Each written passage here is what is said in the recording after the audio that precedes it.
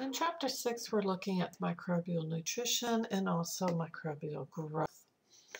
Microbial growth can refer to the increase in the population of the microorganisms. Why? It's, it's due to the increase of the uh, growth or reproduction of individual microorganisms.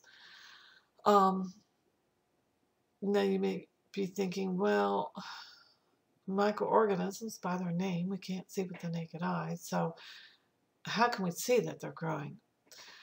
When you grow uh, bacteria, certainly in a liquid broth, it's going to turn cloudy when bacteria are growing.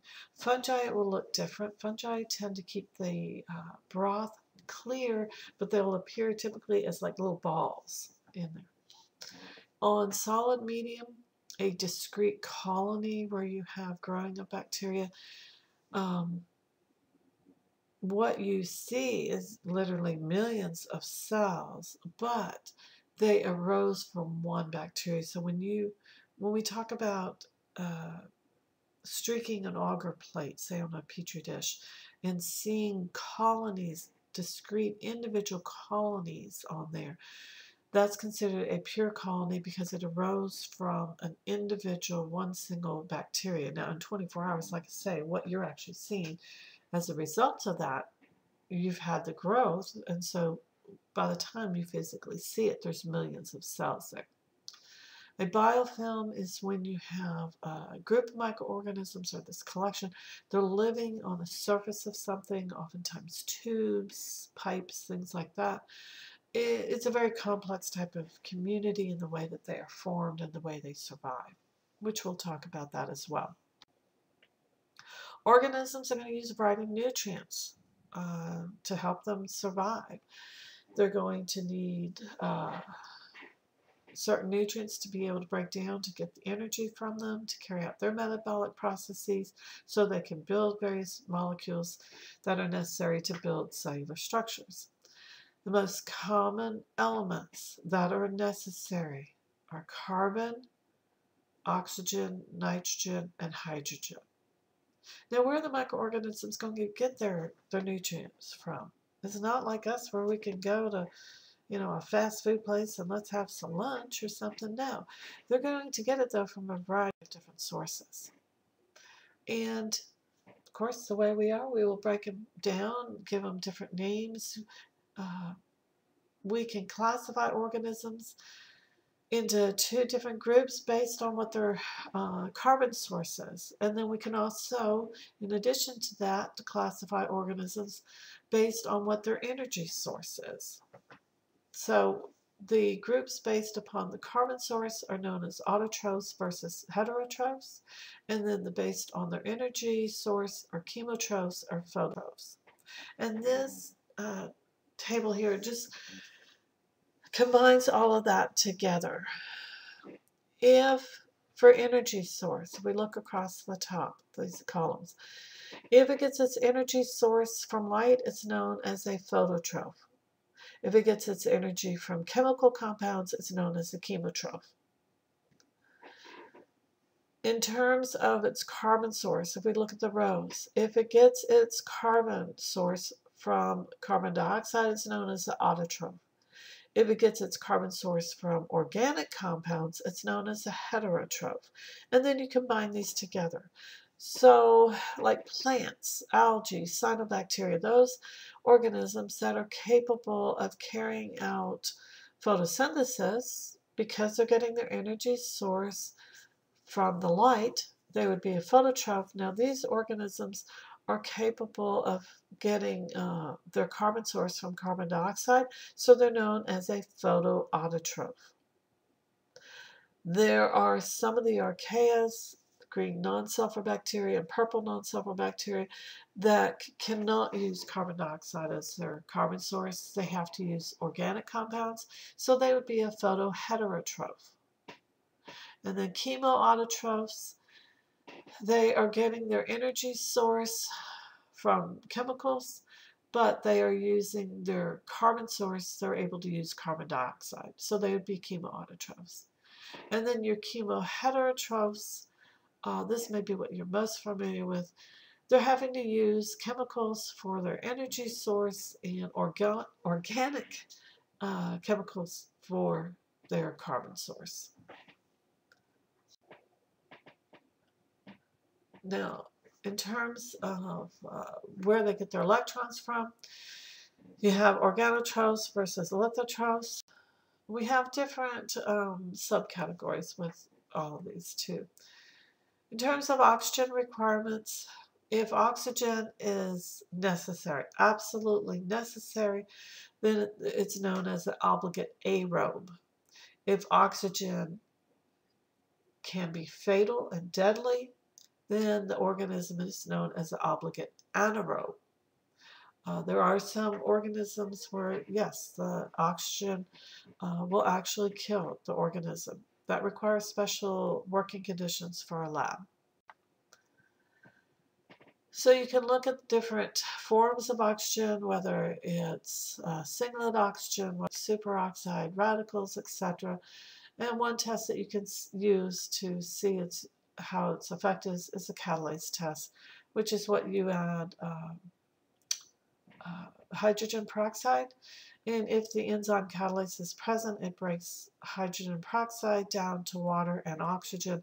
And so that bubbling that you see is the formation of oxygen that formation of that oxygen actually for some bacteria can be proved to be deadly, which is why we use it to uh, clean uh, shallow cuts, etc. Um, so aerobes require oxygen, anaerobes do not, means without oxygen.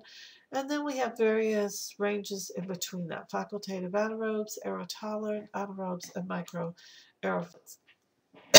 excuse me, you can get an idea sometimes when you grow organisms in a test tube. There's different specialized media you can use, but sometimes just even in general media you can see if there's a lot of fluid in there so it's deep. Look at where in the tube the organism is growing. If it only grows at the top along the surface, that will give you an idea that's an obligate aerobe. It needs oxygen. The oxygen is not diffusing very well through the media, and so it's going to live only at the top where the oxygen concentration is high. If it only grows at the very, very bottom, it's an obligate anaerobe because the oxygen levels higher up are going to kill it. Facultative anaerobes, it can grow in lower oxygen concentrations, but it doesn't really like it. It prefers oxygen, so you have higher growth at the top, but you do have some of it extending down. If it's uniform, it's aerotolerant anaerobes. It means, you know, I can grow anywhere. I don't care if there's oxygen or not. I'll grow either place. Nitrogen requirements. Most organisms do have uh, require nitrogen, and if there's insufficient nitrogen, then some of the reactions will stop. Um, occurring. Now, nitrogen fixation by certain bacteria is essential because not all cells can use nitrogen in all forms. So one microorganisms play a hero, huge role with nitrogen fixation in terms of taking the nitrogen in one form, converting it into another form that then maybe plants can use or other organisms can use. Other chemical requirements that you may have to be aware of, certainly in the lab if you're growing, is phosphorus, sulfur, uh, sometimes trace elements, and whether there may be certain growth factors necessary. So this is a table that just gives a list of some of the more common growth factors that microorganisms may need, such as like amino acids so they can uh, make proteins. Uh, maybe they need um, vitamin B2 to help make uh, FAD, which is used as an electron transport carrier. Temperature. Temperature is going to affect the three-dimensional shape of proteins. Uh, and if you have a huge drastic change in temperature out of a, the normal optimum growth range for a particular organism, it can affect the structure and structure determines function. So then it can become non-functional or, or denatured. It depends on the particular organism um, as to what that particular temperature is going to be where things become denatured. Lipids can also be affected by temperature, and remember, lipids are a major component of the membranes of the cells. Typically, what happens if temperature gets too low, the membranes become very rigid and fragile and can break. If it's too high, it becomes too fluid. So you can see what the effects of temperature are on microbial growth. There's usually, like I say, a range, and then you find that optimum where it peaks. Um, this graph will change depending, I mean, organisms that are, say, pathogenic or even non-pathogenic on humans that live uh, in and on us, you would expect their optimum if they're living in us to be around 37 degrees C. Um, I knew someone years ago that was doing research on a bacteria, and the uh, optimum temperature for their organism was around 4 degrees C, basically 39 degrees Fahrenheit. It was something that had been isolated from the Arctic Ocean. Well, that makes sense that its temperature optimum is going to be very different. So you look at where the organism is initially found, and that gives you a clue as to where its temperature range may be. Uh, for that particular individual that was working with this uh, bacteria that could only grow in cold temperatures, if it got above uh, 10 degrees C, it would die. Room temperature is around 21 to 23. So he always had to work with it in a refrigerated cold room uh, facility, which was kind of interesting when it's 100 degrees outside and you see someone putting on a heavy jacket and then a lab coat on top of their jacket so they could stay warm while they had to work with it. Um, it, it, made for uh, an interesting working environment for them on this graph at the bottom, or the picture on the bottom, you can see for this particular organism at 22 degrees C, like say room temperature, there's a little bit of growth, but not a whole lot. There's certainly more growth at 30 degrees C and even more growth at 37. So you, you can see the effect of the temperature. We have different categories um, that we can place microorganisms in depending on what their temperature range is for growth. Most of what we work with from a medical standpoint are the mesophiles because as you can see their optimum growth is right around what the human body is. And certainly the range of growth is where most of us obviously are living. So those are the ones you're going to come in contact with most in the healthcare field. Now, psychrophiles are those that can uh, survive under very much colder temperatures, optimum around 10 degrees C. Uh, a refrigerator is usually set around 4 degrees C to give you a point of reference. Thermophiles can survive at higher temperatures, and then hyperthermophiles certainly at very extreme temperatures. Remember, water boils at 100 degrees C. So thermophiles will certainly be found in like hot springs, etc. So here's an example of psychrophiles growing on a glacier. Um, so what you see in figure A is uh, the kind of a, a, pinkish color to them. Uh, years ago, it was actually interesting showing this picture, and I had a student who became very excited because she originally was from Alaska, and she knew exactly where this picture was taken because she used to be a tour guide to take tourists to go see the glaciers. And on this site, they always wanted to see the pink snow. And so for her, it was the case of she's, I never knew really why it was pink. I just knew it was pink and people paid money to go see it. Uh, so she was fascinated that, oh, this is why it's pink. On B, you can see what the uh, organisms actually might look like microscopic. pH, organisms will be very sensitive to changes in the pH.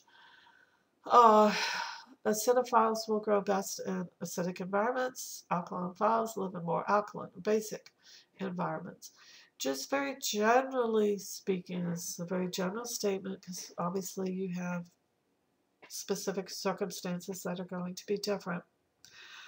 Bacteria tend to prefer a more neutral to slightly alkaline Usually the media that we make, the pH is usually set sometimes right at 7, but usually about 7.5 to 8. Fungi prefer a more acidic environment, usually anywhere from 5.5 to 6.5. So that is something that we can use to our advantage when we make media. Uh, it's what we call selective, which we'll get to, into in a moment. You can adjust the pH to help to select for what growth of microorganisms you want. If you want to grow fungi and not worry about bacterial contamination, then lower the pH. If you want to grow bacteria and not have fungal contamination, raise that pH up a little bit. Microorganisms, as all living things, require water. Uh, water is a very important solvent. It's involved with a lot of different reactions. And so most cells are going to die in the absence of water. Uh, so it's going to help with reactions to occur. It also helps to maintain pressure that helps to maintain the shape of the cell, uh, helps with movement of things in and out across the membrane. Uh, a hypotonic solution has a lower solute. Solute is what is dissolved in the solution. Uh, if you place a cell into a hypotonic solution, it tends to uh, take more water in and swell up. If you have a hypertonic solution, you have a greater solute concentration as compared to what's inside the cell.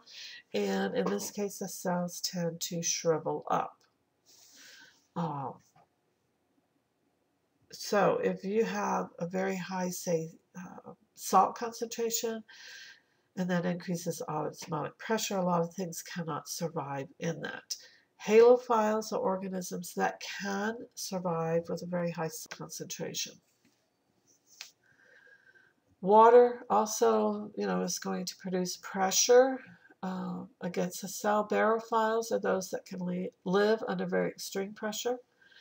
There are some barophiles that are capable of living in the uh, deep subsurface, down at the bottom of the ocean, at the ocean vents on the bottom. So some of them have adapted to that. There are some organisms that live with a special unique association, association with other organisms. Um, some of them it's in a symbiotic relationship where both members benefit. Sometimes is antagonistic. It just depends on the, the exact uh, situation. Biofilms, this is uh, something that they used to not really worry about much, and the past uh, probably 15 years has become more and more of a problem that they're having to look at. It's a very complex relationship between not just one species, but multiple species of microorganisms. They tend to start growing on a surface, and then these biofilms will form on the surface. From a medical standpoint, it has become a problem uh, with certain medical devices, especially things that have tubing that may have moisture in them, uh, such as ventilators, catheters, anything like that. Um, the individual organism by itself may not be much of a problem, but you combine them together, it, it, it's kind of like you get one individual, it's not so bad, but you get a whole gang, and now you got a problem. So this is a very active area of research as to how to prevent biofilms from even forming in the first place so you don't have the problem. The way biofilms form is that first you have your, your microorganisms. They uh, may attach, some of them may be killed as they're floating around, but they will attach to the surface. Let's say this is a catheter. They may attach to the tubing. Uh, so they're able to, as they're floating around, they, they attach to that surface. Additional microorganisms may attach to it as well. The cells, as they're growing, they're producing an extracellular matrix, and that's going to be what we call uh, quorum sensing. There's more uh, cells that will come in and then it triggers the cells to kind of change their biochemistry and their shape. They produce additional matrix which is kind of acting like a net and a glue, allowing them to stick even better to the surface, but it's also allowing the microorganisms to kind of stick to each other. Said, it's kind of changing their shape, it's changing their biochemistry. New cells arrive, maybe additional new species, maybe some of the same species, and they're able to stick to this film. And then they also start secreting the matrix, their own matrix, so that's helping to produce even more film. Uh, sometimes you get even actually like little water channels flowing throughout the film. Uh, to control, it's easier to control one or two bacteria, especially if they're free living. You might be able to add chemical, say antibiotics, that might wash off and affect and kill some of the bacteria that are on the surface. But those that are underneath that matrix, they're protected. It's, it's like you found a big old blanket. You can't get to them. It's much, much harder to treat.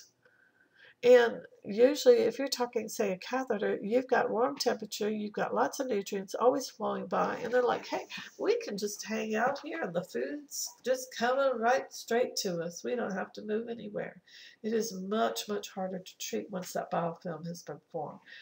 So as I said, that's an active area of research is to try to how to control, ideally how to prevent it from forming in the first place. Uh, but it is a concern in the medical field. If you have a patient that you must either have a catheter or maybe you have to put on a ventilator, uh, anything like that, you want it in for as little time as possible to try to cut down on the risk of the formation of biofilms and then infection to the patient. Inoculum, this is uh, where we're in introducing microorganism into a particular medium. We may be using environmental specimens, clinical specimens, or stored specimens. The when we talk about culturing, we're talking about uh, taking the microorganisms and specifically inoculating them into media to keep them surviving, either for use for research, for testing, etc. When we grow the microorganisms, such as bacteria, in picture B, you can see the individual colonies, as we said earlier. The colonies that indiscrete, the, the discrete uh, individual mound, if you will. the idea is that it, that arose from an individual bacterium. There's millions in what you can physically see, but it did arise from individual uh, bacteria. When you are trying to classify or identify organisms, you need to learn to be very, very observant. And so when you're looking at colonies on a plate, you need to start noticing different things, like its shape. Is it circular? In the picture here on the right, uh, those bacterial colonies are circular. Can you identify solely off the bacteria growing on a petri dish? Usually not. There's a couple species that have very unique uh, characteristics that you could. Bacillus anthracis is one. But for the most part, you could narrow it down, and so that's why you want to be observant. It's to identify bacteria, I often describe it's like doing a puzzle. So each of these observations becomes like a piece of the puzzle that you're going to put together to see what is your overall picture, which is what is your organism. So look at the shape of it. Look at the margin. Uh, the margin is what do the edges look like? If it's nice and smooth, it's entire. It might be curled. It might be filiform. Uh, because different species have different characteristics. So you look for that. Look from the side of the petri dish and see what is elevation. Is it flat? Is it raised? Is it convex? What does it look like? What is the size of it? Does it look smooth? Does it look rough? Is it shiny? Is it dull? Is it pigmented or not? Uh, a lot of them may look kind of cream tan color. Some may look yellow. Uh, one we often work with in the lab is red. Is it opaque or is it transparent?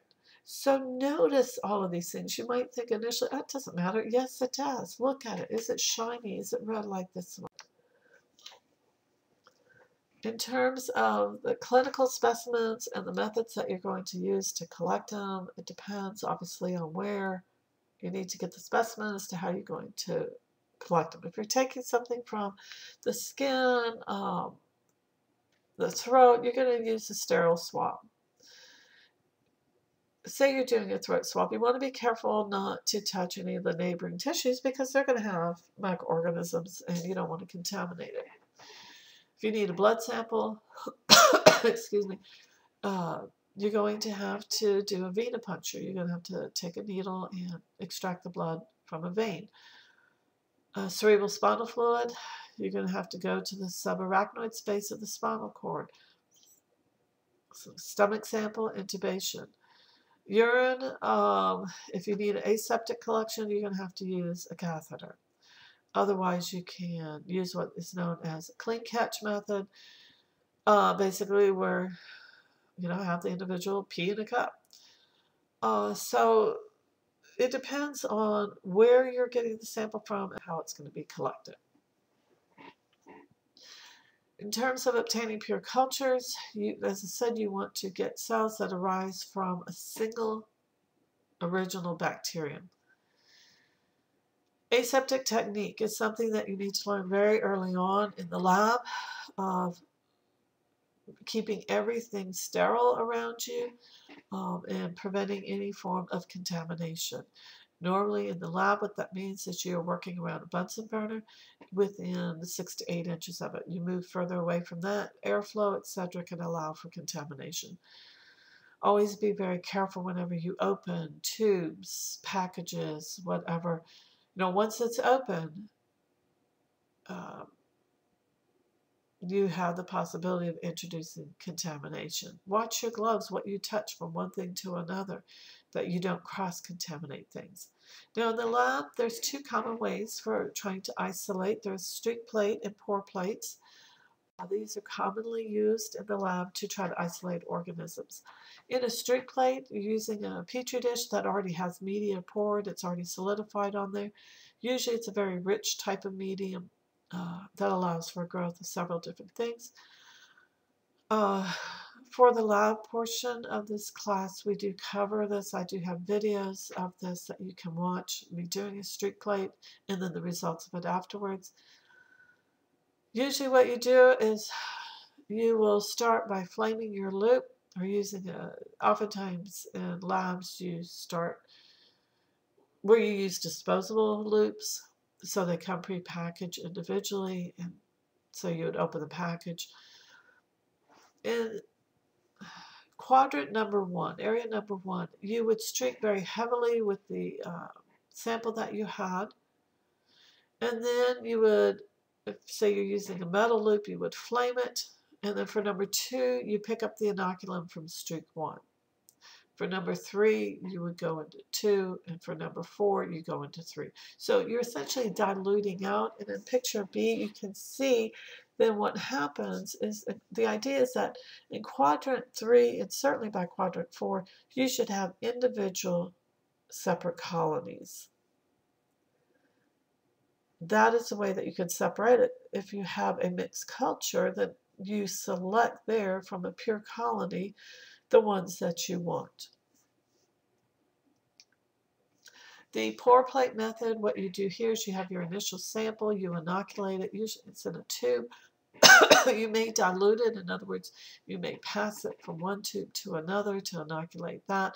And then eventually what you do, that tube has agar in it, it's liquid. You then pour it into the plate, because you're diluting it out, each successive dilution, you should have fewer and fewer and fewer colonies. A pour plate is a little bit different than a streak plate. Streak plate, obviously you are streaking on the surface, so you will only have growth on the surface. A pour plate, because you have mixed it within the media and then poured it into the petri dish when it's still warm, and you kind of swirl it to fill the dish up, theoretically what can happen is you can have colonies not only on the surface but also embedded within the, the agar itself. And then the inlet set picture on B, you can see certainly there's multiple different types of bacteria. How do I know that? Just by looking at it, by the color differences, the size differences. It goes back to look at those characteristics of the individual colonies if you were wanting to continue to work with some of these, you would pick a colony, a pure one that has nothing else touching it, and then transfer that to new media for further growth and analysis. There are some other isolation techniques that you can use, such as for fungi. You can use those on a streak or pour plate. Protozoans and algae are usually going to be grown in broth cultures, and you dilute those out.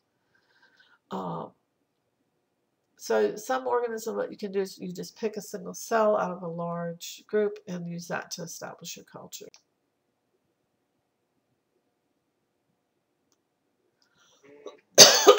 Excuse me. Um, you may think that we know an awful lot about microbiology. We do, but we don't. Uh, we do know that the majority of prokaryotic, or prokaryotic organisms actually have not been able to be grown in pure culture in a lab. We know they're out there. They don't come with a, a manual, and oftentimes I describe them as being like a little two-year-old. They might be picky. And if they don't tell us how to grow them, it can take a lot of time and a lot of patience to figure out if you ever do figure out how to grow them. Some of them are like I said, little two year olds. I only want a chicken nugget from McDonald's because it doesn't taste the same from Wendy's or Burger King or someplace else. It has to be from McDonald's they they don't tell us this. So it's it can be very difficult. We can do different analysis, know that they're growing in the soil or in the water. We can see the DNA there. We know they're there, but we cannot grow them. Um, you have at your hands um, both liquid and solid medias to choose from. Nutrient broth is a very common liquid medium because it has a little bit of everything in it. So most organisms, the idea should grow in those, even if they're like a finicky, picky two-year-old. Agar is added to media to make it solid. So you can use or add agar and use that to pour the it into petri dishes to make the solid medium there, or also into, sometimes you have a slant. this is a picture of a slant where you have that solid medium in a test tube. When you make it and sterilize it in its liquid form and then it will solidify. You put it on a rack at an angle so you, you get that angled slant. And later on we will talk about different biochemical tests where you may distinguish a reaction in the bottom of the tube, which is referred to as the butt, versus the reaction on the slant. There are lots of different types of media uh, that are used, things like defined media, complex media, selective versus differential, anaerobic, and then transport media. Defined media is one where you know exactly what the media is composed of. You know that it has glucose. You know it has calcium chloride in it. You know how much it has. So you know exactly what is in it. That would be a defined medium. Complex media, the chemical composition is not known exactly. You you may know some of the, the chemicals, uh, and you may know things. There are some medias that we use that has what we call uh, beef extract or yeast extract what exactly is that? Well, you've grown yeast in something that's broken down and you have additional proteins in there and you know it supports growth, but what exactly is the chemical composition of yeast extract? Well, we don't know. And so that's what a complex media is. It usually, um, complex medias will usually support a wide growth of microorganisms, but I, I can't tell you that has two grams of calcium chloride in it. Selective media is media that, as the name implies, it selects for the growth of some organisms but inhibits growth of other organisms. An example of this is showing uh, in this picture is selective media just by changing the pH. As I mentioned earlier, bacteria prefer, prefer more neutral to slightly alkaline, and fungi prefer, pre, prefer, if I can talk, more acidic. And so in the picture on the left-hand side with the pH 7.3, as you can see, there's a lot of bacteria growing on there, but not fungi. Versus on the right, pH 5.6, um, you don't see any bacteria on there. That's all different types of fungi that are growing. How can I tell? I can, I can tell by um, just the look of them, the appearance of them, that it's fungi versus bacteria. But that's, that's a selective media. A differential media is one where you can have different organisms grow but they will appear differently so you can distinguish between them just by visually looking. And just so you know, there are some medias that can be both selective and differential.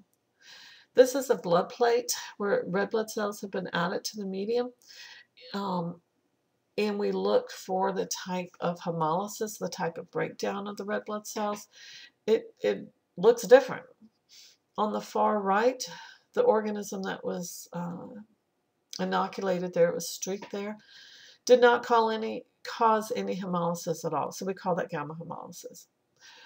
On the far left, you have a different organism and you can see it looks different. It looks more green in nature, and that's alpha hemolysis. And in the middle, there's definitely a difference compared to the other two. You have growth, but notice how you have clearing around it. There, it looks yellow because the red blood cells have been lysed. They're, they're no longer there. If you were to put a sheet of paper under there, you could actually read through it. That's beta hemolysis. So just by visually looking, you can tell the difference between these different organisms. That's the purpose of a differential media. this is another example using uh, a liquid broth. This is for carbohydrate utilization. You're looking to see whether fermentation occurred or not. And in this case, what they did is add a pH indicator. The tube on the left is how it would look initially prior to inoculating it. Uh, neutral pH, it is red. When it becomes acidic or low pH, you have acid production, it turns it yellow. And so once again, just visually looking at it, you can see that acid has been produced. Now, in this case, you can also see it's kind of interesting. It's a good shot of the tube inside the Durham tube, that inverted tube that has uh, collected, has that gas bubble in it. And so not only was there acid production, but there was also gas production as well.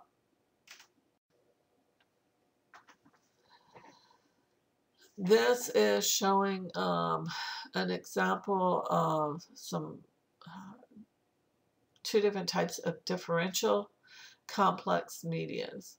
Um, the it's showing the components and like because it's complex, yes, you know what some of the, the items are, but you don't know exactly what is the chemical composition of peptone. Hmm, not real sure here. Um, the uh, pancreatic digest of casein. What? It, well, you can say how much of that you have, but you don't know. You know, to write out the chemical uh, structure of it, mm, not so good. What do you use these for? Like MacConkey agar. That's used to grow gram-negative organisms. Um, and then, so number one, it inhibits the growth of gram-positives. And then there's going to be a difference in how it looks, whether it's a lactose ferment or, or not. We already saw the blood agar on the previous slides. This is the MacConkey here. Um, in, on A, figure A, that is a nutrient agar. Most everything gram-positive, gram-negative can grow on that. Staphylococcus aureus, which is the streak on the bottom, is a gram-positive bacteria. Escherichia coli, commonly referred to as E. coli, is a gram-negative, and you can see both of them grew on the nutrient agar. When you look at the MacConkey's agar, notice that Staphylococcus aureus did not grow. Why? Because this is a selective media gram-positives are inhibited by some of the dyes that are added into the medium. So that only gram-negatives will grow. Well, E. coli is a gram-negative, so it grew. Now, notice the coloration of here on the third one. Salmonella is also gram negative, so it also grew, but there is a difference in the pigmentation, that fuchsia color versus the yellow color. The difference has to do with whether or not it's a lactose fermenter or not. There's different oxygen requirements, so different ways to grow organisms. Uh, if they are aerobic, that's fine. You can grow them in incubator or room temperature under normal conditions. But if it's anaerobic and oxygen is going to kill it, you cannot grow it. Just stick it in an incubator or room temperature. You're going to have to grow it using some special um, equipment. Now, some places will have this uh, anaerobic culture system where excuse me, you put the petri dish in as you normally would in an incubator. You invert them, put them in, and then you have um, these packets basically that you you either rip or you pop, and it will essentially tie up the the oxygen, removing it, and you have an indicator knowing that in this case it's a methylene blue anaerobic indicator so you can very easily see once you have sealed the container up the oxygen's removed and that yes it is anaerobic. Um, some places we use um, another version of this. Basically, we call them candle jars. In our case, it's often just a huge pickle jar.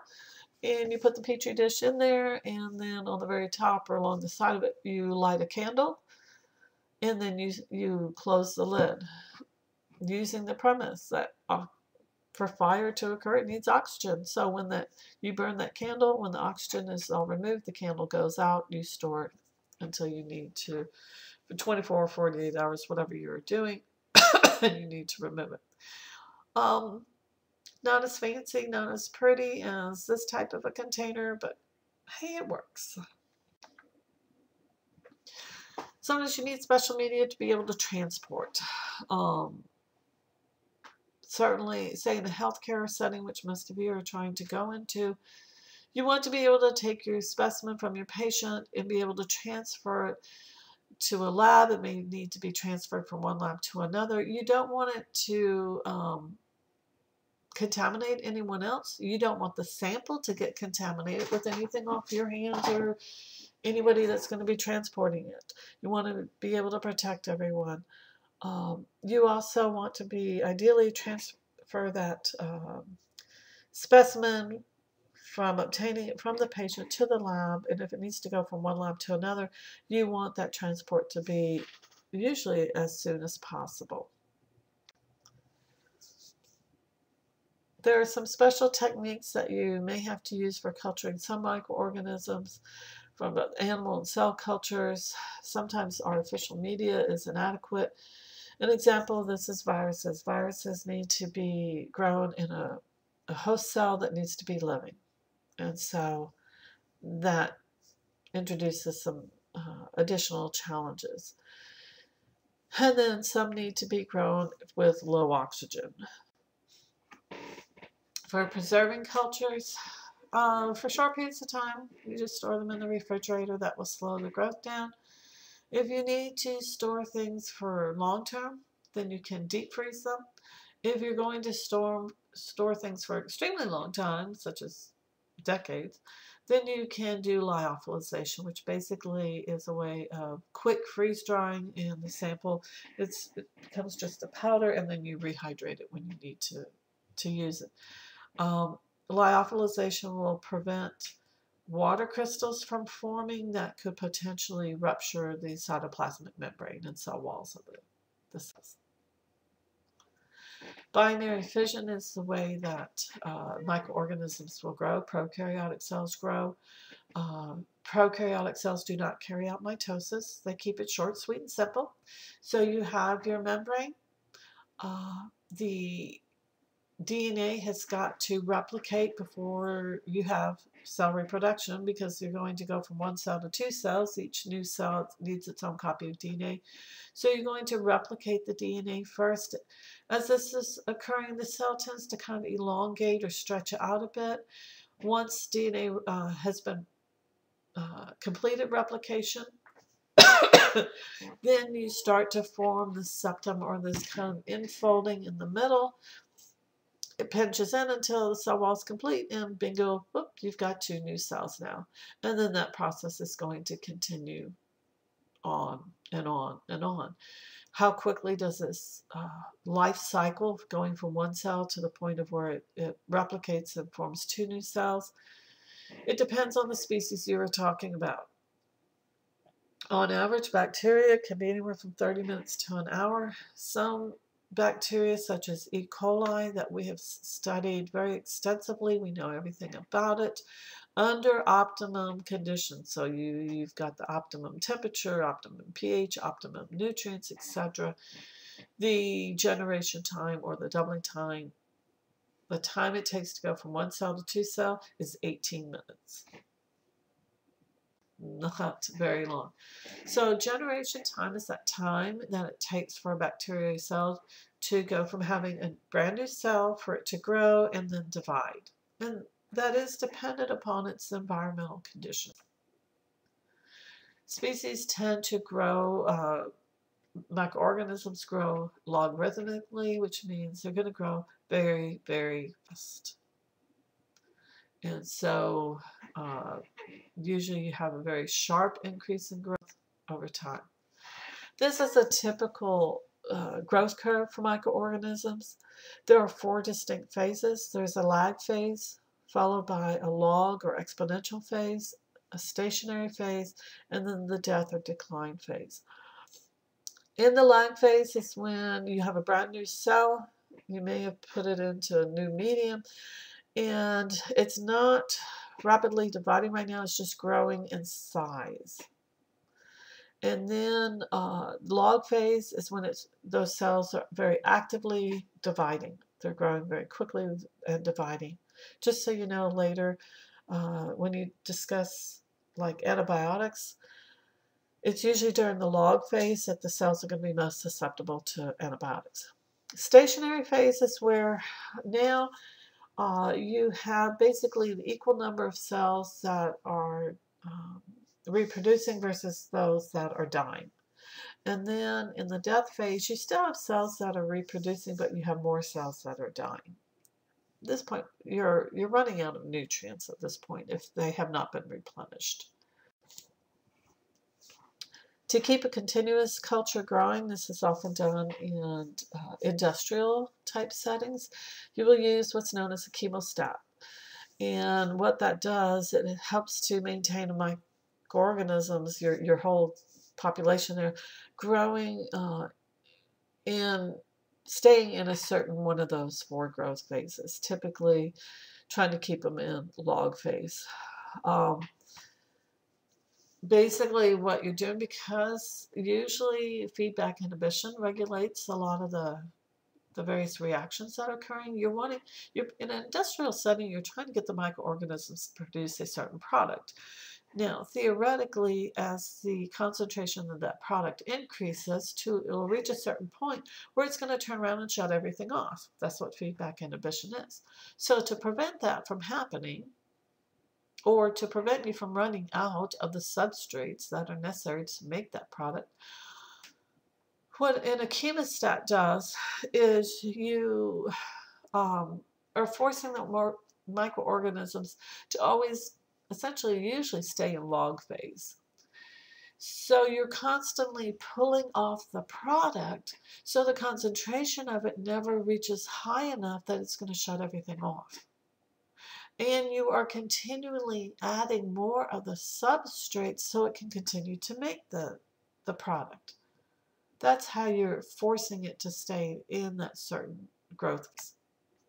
So this is showing here uh, where you can be adding in, or air, whatever gases if it's necessary. You can be adding nutrients uh, to it, but you have a, a release valve where you can withdraw fluid is it showing here that overflow too?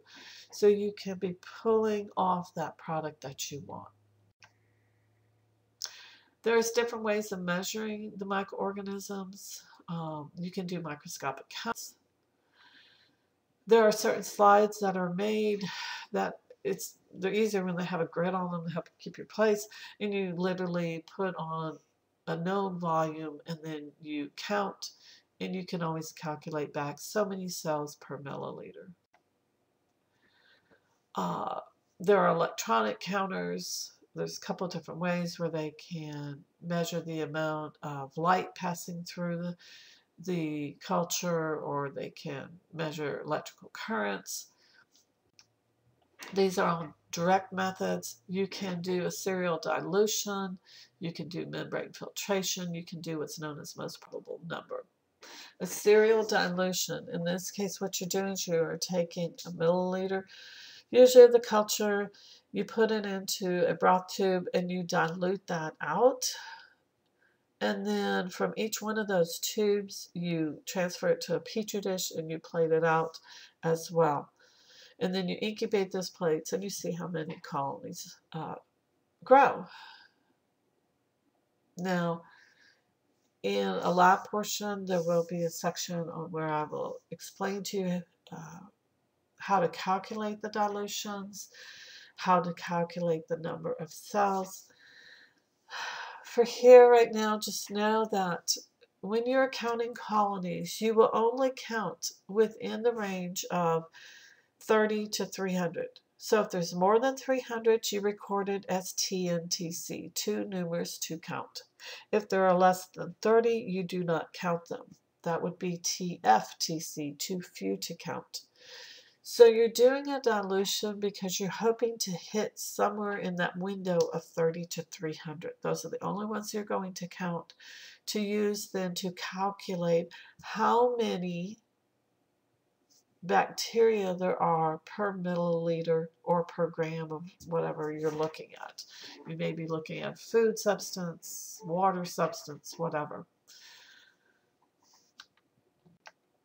Filtration, membrane filtrations, you take your sample, you filter it, you have a, a membrane filter that you filter that, usually it's in a liquid form, through. Then you place that filter on top of a media and you count. And usually these filters do have a grid on them, once again, make it easier to count. The membrane filter has a certain pore size that the liquid can go through, but it catches and retains the bacteria on it. This is often done uh, with water samples. Uh, I used to work in a water lab, and this is what we did to uh, look for what's known as coliform bacteria, which typically are, are, found in the intestines. We were testing water to see if it would be safe for um, human consumption or not. And another way that you can do this, this is not giving an exact count, it's an estimate. It does require a lot of tubes, so it's not used as much anymore. But traditionally, it's kind of a method, at least to be familiar with it. Um, but just for space, a lot of labs don't do it because it, it does require, per sample, it requires 15 test tubes, which can very quickly add up. Uh, you do a dilution once again, and typically you, you set it up so you'll have uh, three dilutions. For each dilution, you have five tubes. Uh, the tubes do have um, a pH indicator in them, and that way you can very easily visually see is there a change in the color.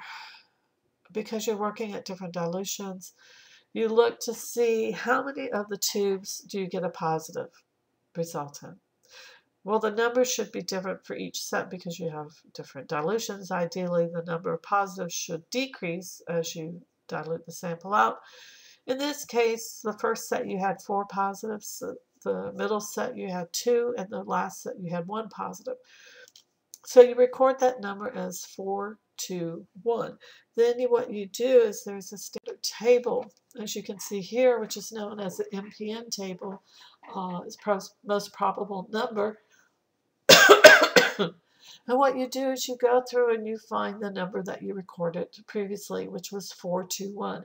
So when you look down the column, first column, you find 4, second column, find 2, third column, find 1. So when you find 421, follow across and it tells you the number 26.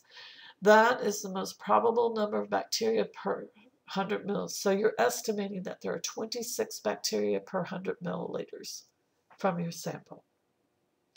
Once again, that's not an exact number, but it's an estimate. So at least get you in the ballpark.